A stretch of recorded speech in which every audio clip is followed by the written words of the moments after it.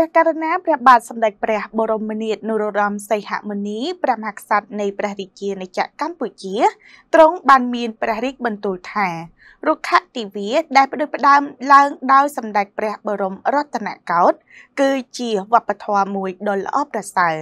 ដែលបានជួយឲ្យជនរួមជាតិបានចូលរួមដាំដើមឈើស្របតាមទស្សនៈរួម ការដាំដើមឈើការការពារព្រៃឈើគឺជាការជួយខ្លួនឯង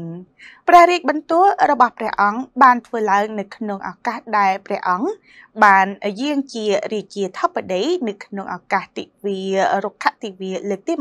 29ដែលបានធ្វើឡើងនៅក្នុងស្រុកត្រាំកក់ខេត្តតាកែវ ព្រះករុណាព្រះបាទសម្ដេចព្រះបរមនាថនរោត្តមសីហមុនីព្រះមហាក្សត្រនៃព្រះរាជាណាចក្រកម្ពុជាបានមានព្រះបន្ទូលរំលឹកអំពីប្រវត្តិរុក្ខទេវីដែលផ្ដួចផ្ដើមឡើងដោយព្រះបរមរតនកោដ្ឋតាំងពីសម័យសង្គមរាស្ត្រនិយមព្រះអង្គបានមានបន្ទូលបន្តថារុក្ខទេវីជាវប្បធម៌ដ៏ប្រសើរដែលជនរួមជាតិបានចូលរួមដាំដើមឈើជាមួយទស្សនៈរួមថាការចូលរួមដាំដើមឈើនិងការពារព្រៃឈើគឺជាការជួយខ្លួនឯង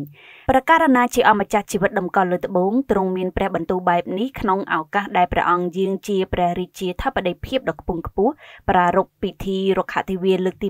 29ដែលរៀបចំឡើងនៅស្ថានីយ៍ផ្សព្វផ្សាយនិងស្ដារព្រៃឈើបន្ទាយអង្គរស្ថិតនៅក្នុងភូមិខ្នាឃុំលីបូស្រុកត្រាំកក់ខេត្តតាកែវនេះគឺជាលើកទី4នៃការប្រារព្ធទិវារុក្ខទេវាដែលព្រះករណាព្រះបរមរតនកោដ្ឋជាទីគោរពសក្ការៈដ៏ខ្ពង់ខ្ពស់បំផុតនិងព្រះមហាក្សត្របានយាងមកចូលរួមក្នុងពិធីរុក្ខទេវានៅខេត្តតាកែវដែលជាទឹកដីដើមកំណើតនៃអរិយធម៌ខ្មែរសម័យនគរនិងចេនឡាកាលពីឆ្នាំ1993ប្រការណាព្រះមហាវីរក្សត្រព្រះវររាជបិតាជាតិខ្មែរព្រះបរមរតនកោដ្ឋជាទីគោរពសក្ការៈដ៏ខ្ពង់ខ្ពស់បំផុតព្រះអង្គក៏ធ្លាប់បានសពព្រះរាជហឫទ័យយាងជាព្រះរាជាធិបតីដ៏ខ្ពង់ខ្ពស់បំផុតក្នុងពិធីរុក្ខទិវានៅខេត្តតាកែវនេះដែរព្រះមហាក្សត្រទ្រង់មានព្រះបន្ទូលបន្តថា ប្រការណាព្រះមហាវីរក្សត្រព្រះវររាជបិតាជាតិខ្មែរព្រះបរមរតនកោដ្ឋជាទីគោរពសក្ការៈដ៏ខ្ពង់ខ្ពស់បំផុត បានផ្ដួចផ្ដើមរៀបចំពិធីរុក្ខទិវា និងសពព្រះរាជហឫទ័យ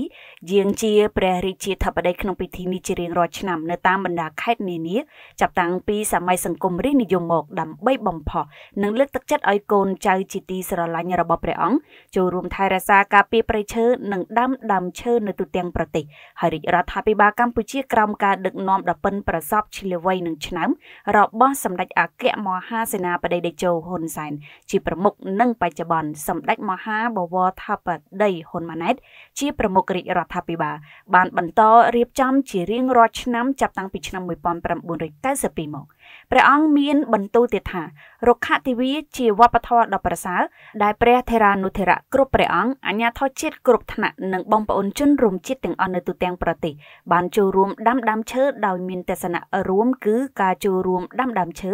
និងការពារព្រៃឈើគឺជាការជួយខ្លួនឯងទាំងជីវភាពរស់នៅប្រចាំថ្ងៃទាំងសុវត្ថិភាពពីគ្រោះធម្មជាតិទាំងក្តីសង្ឃឹមសម្រាប់កូនចៅចំនួនក្រោយរបស់យើង ព្រះមហាក្សត្រទ្រង់បានយកឱកាសនេះថ្លែងអំណរគុណចំពោះប្រទេសជាមិត្តនិងអង្គការជាតិអន្តរជាតិនានាដែលបានចូលរួមគាំទ្រដល់ការងារដាំដើមឈើនិងការថែរក្សាការពារធនធានព្រៃឈើសត្វព្រៃ